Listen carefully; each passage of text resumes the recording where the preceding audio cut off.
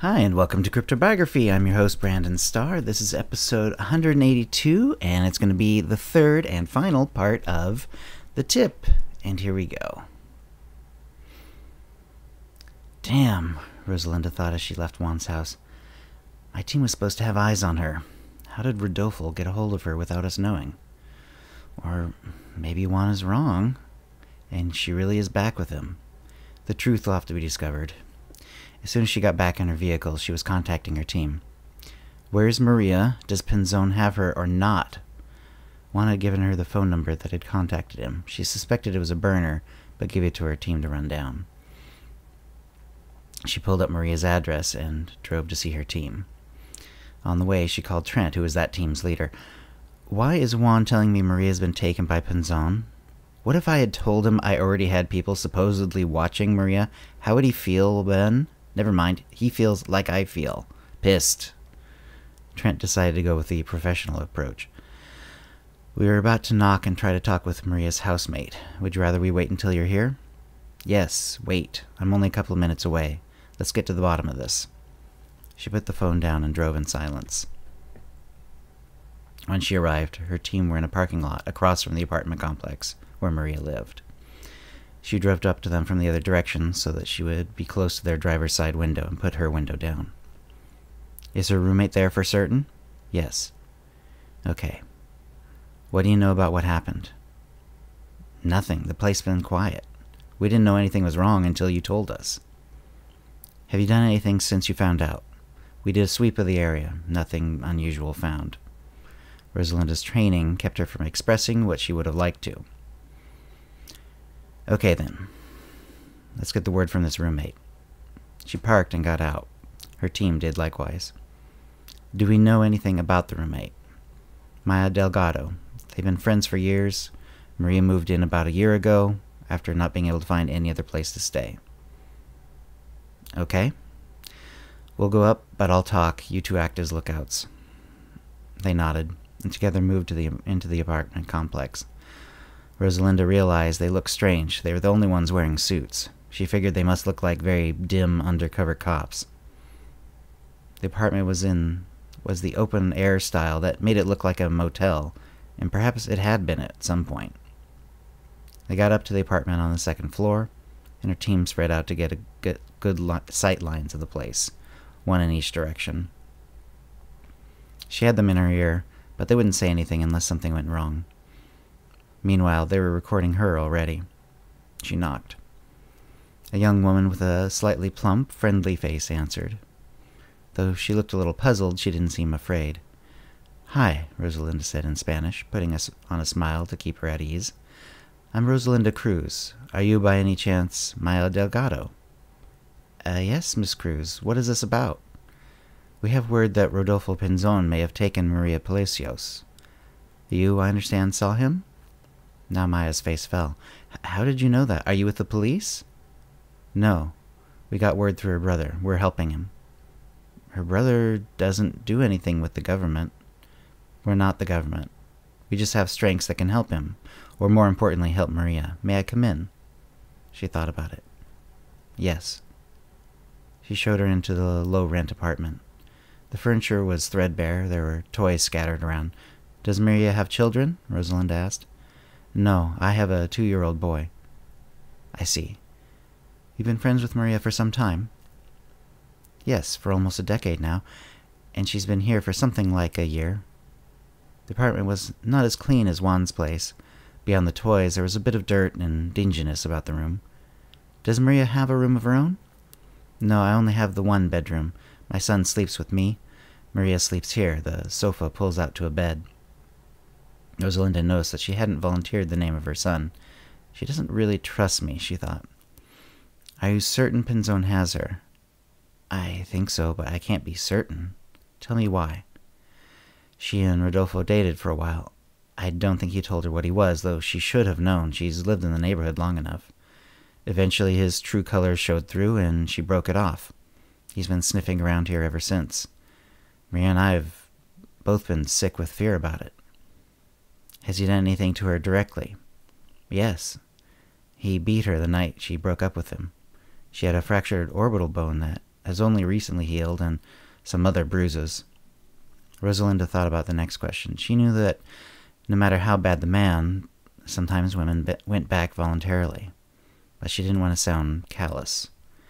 She decided that laying it out would be the best bet. Sometimes women in tough situations like Maria's might go back to someone who had hurt them. Do you think she might? No, Maya stated, emphatically, but not with anger. No, I know what you mean. Maria, Maria would not. She knows she has a place with me, even if she loses all her money. We're like family. And she learned how bad Rodolfo is.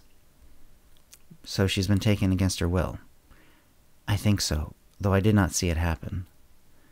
Where will he be? Do you have his address or know places where he is likely to go?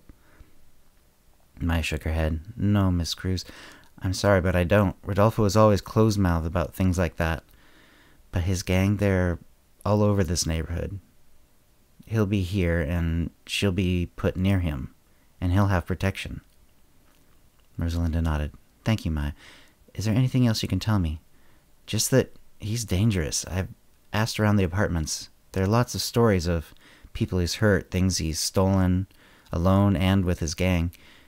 You'll have to be careful. We will. As soon as she left, she met with her team.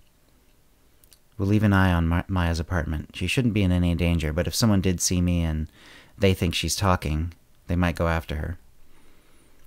We need to find out where Maria's being held. It'll be here in the 70s territory. Maybe Pinzon's still going out, or maybe he's laying low. I say we get some eyes out there and just do facial recognition for him or either of the two friends. How many can we get out there? Three dozen or so, Trent answered. They were all up within a day. The data kept flowing, and soon they had a hit. It's a small two bedroom bungalow. We have the blueprints. Good, Rosalinda said. This one's mine. No one dared oppose her. That night she moved in. She turned her power on and became completely invisible. The only trick was getting in the door. She made some noise in their backyard. Sure enough, the lights came on and a man came out holding a pistol. It was one of the men who had threatened Juan Palacios with Pinzon. She walked up quickly but quietly. She thrust a syringe into his neck. In one second, he slumped to the ground. She moved inside. Stripe, what'd you see? She heard someone say from another room in Spanish. The room was in a small outlet near next to the kitchen.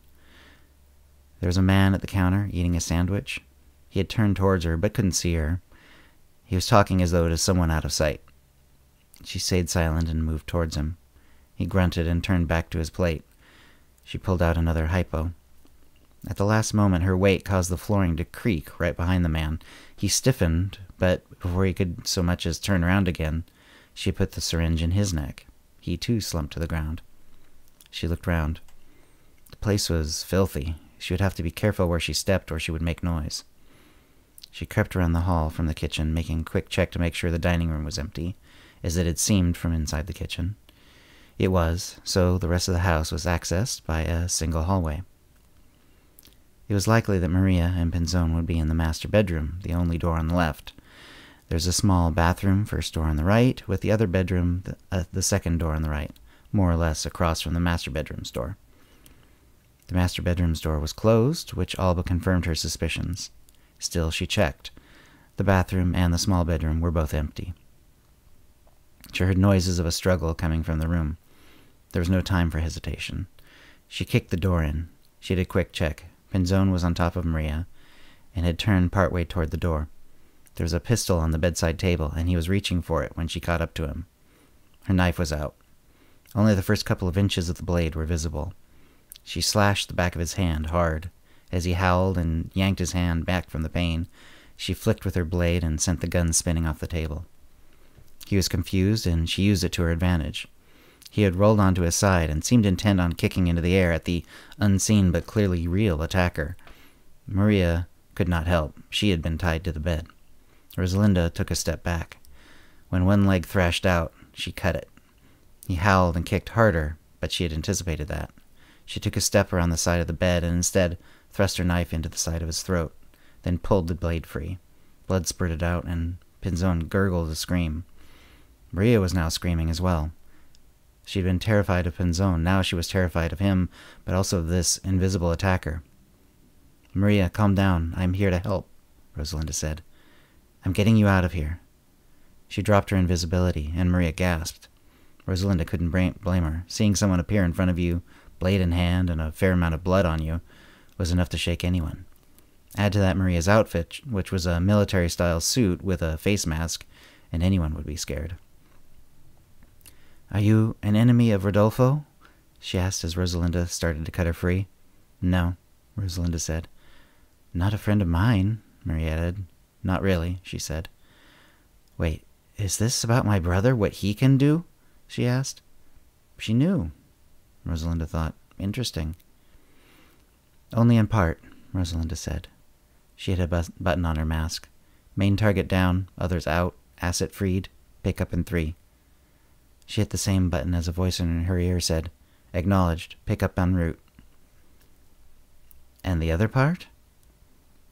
The other part? Rosalinda asked. Most of this was for me.